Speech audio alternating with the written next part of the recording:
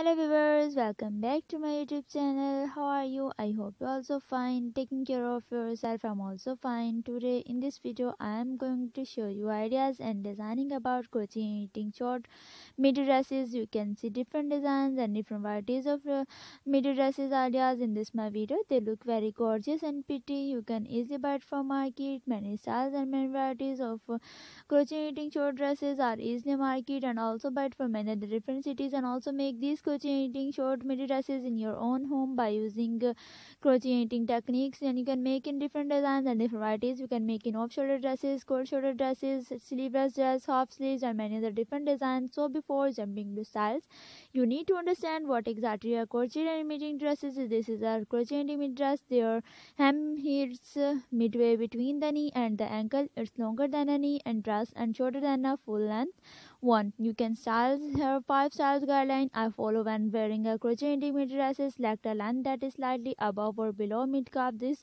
crochet knitting dresses creates a perfect illusion of a longer dresses where mm, elongate the legs and combo the stumpy look that a crochet knitting dresses might give. Your strappy high heels and Crochet knitting mid dresses is any dress that fall below the knee and the above the ankle mid calf hence where it get its name. The difference between a dresses and a maxi dress is that a maxi dress follows below these points either at the ankle or the floors. Anyone thought this look good on everyone's making an outfit that flatters with a midi skirts can be drawn and you can make in different colors as in grey, blue, black, purple, orange, mustard yellow and many different multicolor of yarns and if you want to make these crochet knitting short dresses in order please see the link in my description description touch the link and contact with us. And if you have any question please tell me in the comment section. I always available for you inshallah. Okay viewers we will in my next video. Thanks for supporting us. Take care and uh, goodbye